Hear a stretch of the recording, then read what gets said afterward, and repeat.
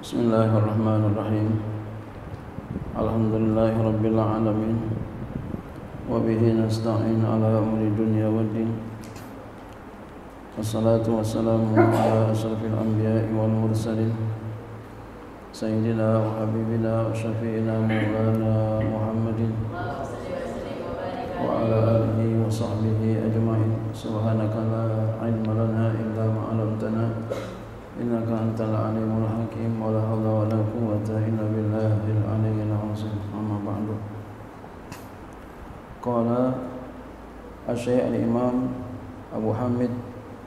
Hujatul Islam Muhammad bin Muhammad bin Muhammad bin Ahmad Al-Ghazali At-Tusi rahimahullahu taala wa ada manaf'a fi ulumi syiladaini amin. Wa al hadza istamarra sahabatu radhiyallahu anhum. Wa ala hadza dan atas ini ini membicarakan tentang qadar. Yang kata beliau kemarin ya amsiku berhenti udah ya istamarra sahabatu senantiasa oleh para sahabat radhiyallahu anhum. Tetap tetap para sahabat tetap para sahabat radhiyallahu anhum. Faziyadatu ala ustazi Tugianun wa zulmun. Maka menambah atas ustaz Atas guru Itu adalah Melampaui batas wa dan kezoliman. Ya. Wahumul ustazuna dan mereka para sahabat adalah para ustaz, para guru wal qudwatu dan para ya, ikutan ya. wa nahnul kita adalah para pengikut wa talamizatu dan murid-murid jadi artinya apa? Kita ikutin aja para sahabat. Para ya orang-orang ilmu kalam jangan diikutin maksudnya begitu nih ya, jadi guru kita ya ikutan kita para sahabat aja. Nah, jangan orang-orang mutakalimin. Orang-orang filsafat. Ya, maksudnya itu. Wa amal furqatul ukhra adapun kelompok yang lain fahtaju bi annal mahdzura minal kalami in kana huwa lafzul jauhari ya lafzul ini huwanya domiru faslin ya lafzul jadi khobar kana ya bisa aja kita mau huwa ya menjadi mubtada lafzul khobar. Tapi ini lemah yang begitu. Yang bagus adalah langsung aja. Huwanya domiru faslin. Lafzulnya khobar kana. In kana huwa ya lafzul jauhari wal aradi. Fahtaju maka mereka berhujjah berdalil. Bi annal ma'zura dengan bahwa yang dilarang minal kalami daripada ilmu kalam itu ya, membicarakan tentang jauhar benda arad ya, sifat. Wahazil istilahatul gharibatu. Dan ini ya, ini jauharul farad jauharul arad adalah istilah-istilah yang asing allati lam ta'hadha sahabatu radhiyallahu anhum yang tidak dikenal oleh para sahabat radhiyallahu anhum. Jadi menurut Imam Ghazali ikutin aja para sahabat yang baru-baru jangan. Fal amru fi qaribun maka perkara padanya itu dekat. Izma min ilmin illa wa qad uhdisa fihi istilahatun li ajli tafhimi iz karena ma tidak ada min ilmin daripada satu ilmu illa kecuali wa qad uhdisa kecuali sungguh telah dibuat fihi padanya pada ilmu itu istilahatun akan pengistilahan ya. istilah-istilah li ajri tafhimi karena untuk memberikan paham. Jadi setiap ilmu itu mempunyai istilah-istilah kadang berdekatan ya ilmu nahu ada istilahnya masing-masing. Ilmu mantik itu ada istilahnya masing-masing. Ilmu balaghah ya bayan ya itu mempunyai istilah masing-masing. Tapi kadang berdekatan kita kalau ngaji kan begitu ya, ya. masing-masing punya istilah ya kadang berdekatan. Kal hadis seperti ilmu hadis ya. Ini punya istilah masing-masing. Wa tafsiri ilmu tafsir. Mempunyai istilah masing-masing. Wal fikih ilmu fikih lau urido alaihim ibaratun naqdi wal kasri wa tarkibi wa ta'diyati wa fasadil wad'i ila jami'il as'ilati lati turadu alal qiyasi. Lama kanu yafhamunahu walau urido jikalau didatangkan alaihim atas mereka ibaratun naqdi akan ibarat kembalikan. Ya. Wal kasri dan pecahan wa tarkibi dan susunan wa ta'diyati dan ya ya pelampauan wa fasadil wad'i dan rusak peletakannya.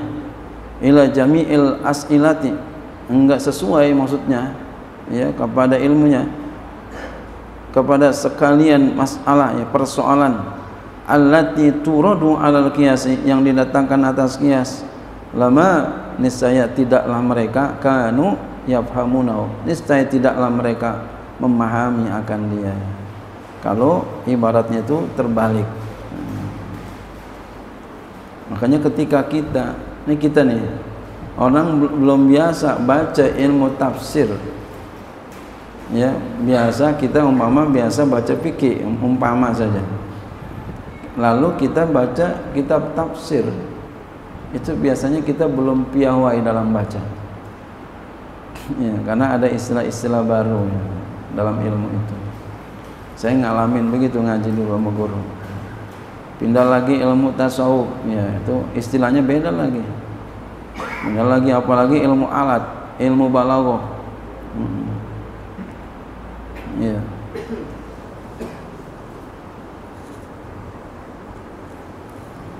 Lalu saya pernah hatam Sarah Jauharul Maknun. Ya. Itu ganti kitab-kitab itu. Masya Allah luar biasa ya. ya.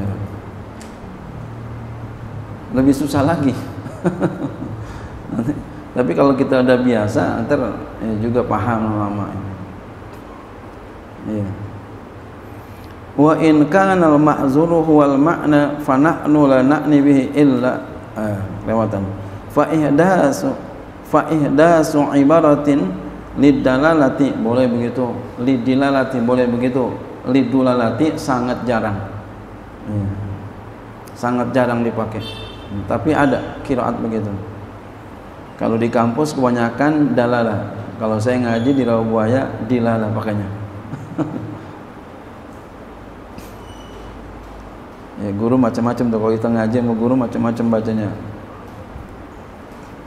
boleh saja.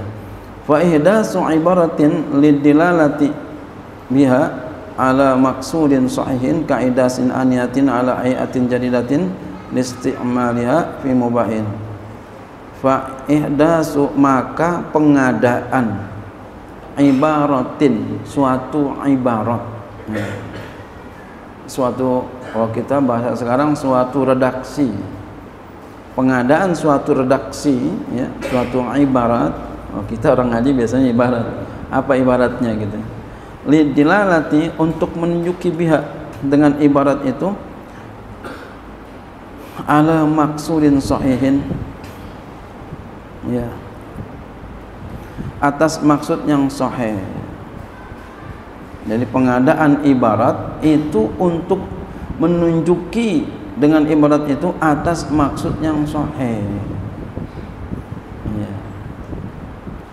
ka ihdasi aniyatin. Seperti pengadaan bejana. Ya ala ayatin jadidatin atas ya kelakuan yang baru. Kelakuan kalau orang berbuat kelakuan ya ini kalau bentuk lah ya. Bejana ya, bentuk yang baru. Ya ya seperti membuat bejana atas kelakuan yang baru bentuk yang baru hmm. listi'maliha fi mubahin karena penggunaannya pada yang mubah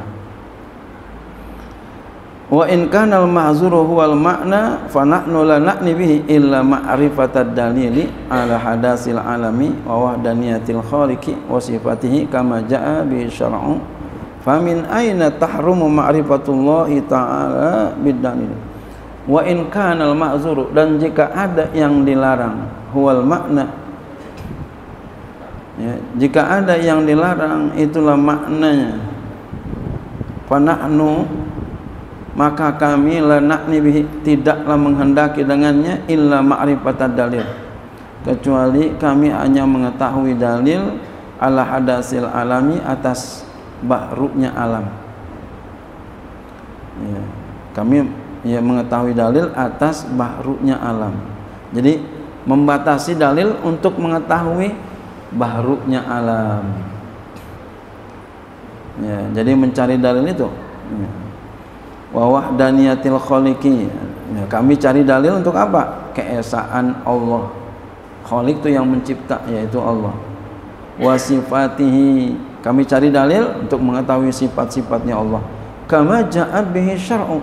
Sebagaimana datang dengannya oleh syariat. Maksudnya ada keterangan syariat. Al-Quran, hadis. Ya. Famin aina tahrumu maka dari mana keharaman ma'rifatullah ta'ala bidalil mengetahui Allah Ta'ala dengan dalil mana yang haramin katanya? Kata beliau nggak ada ya. Jadi kalau kita berdalil berargumentasi pakai dalil untuk mengetahui ya Allah mengetahui alam semesta ini mengetahui keesaan Allah mengetahui sifat-sifat Allah ya itu sangatlah bagus. Nggak ada yang larang. Kalau dibilang haram mana dalilnya? Ya ya. Wa in kanal mahzuru huwa tasawwuba. Ya. wallahu a'lam